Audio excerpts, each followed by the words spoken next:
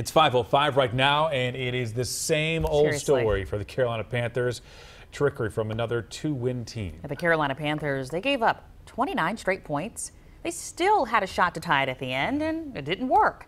Well, now they are out of playoff contention. And our Anthony Castor is live for us this morning from Bank of America Stadium. Anthony, head coach Ron Rivera faced some pretty tough questions about the team's performance and his job security yesterday.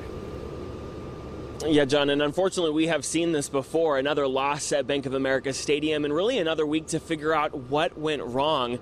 The Panthers, though, started out pretty good yesterday with a 14 0 lead, but the Redskins caught up quickly, scoring 29 straight points, leaving the stadium nearly empty by the end, and a 29 21 loss for the Panthers.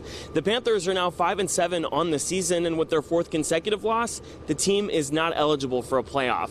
They'll review the tape today to see where they can improve, but Jarius Wright and Mario Addison told us it all comes down to consistency. You know, if we don't start the game fast, we usually pick it up, and then we start the game fast and we don't finish. So, you know, we have to put that together. It's never about who's the better team. It's about what team that plays the best that day.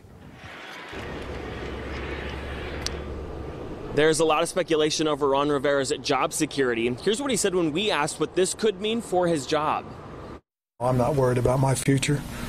I'm worried about this football team's future. We got a game coming up on Sunday. That next game is in Atlanta against the Falcons. The team dominated Carolina just three weeks ago here in Charlotte. Coach Ron Rivera will hold a press conference later today. Of course, we'll be asking how the team is preparing for that game on Sunday following this devastating loss. We'll have that for you tonight starting on Eyewitness News at 5. John? Hey, Anthony, this one really stung. Thanks for the live report there. Also, during yesterday's game, Panthers tight end Greg Olsen took this hard helmet to helmet hit right there. We're going to show you, you know, again, this was Washington linebacker Ryan Anderson. He was pretty shaken up after that play.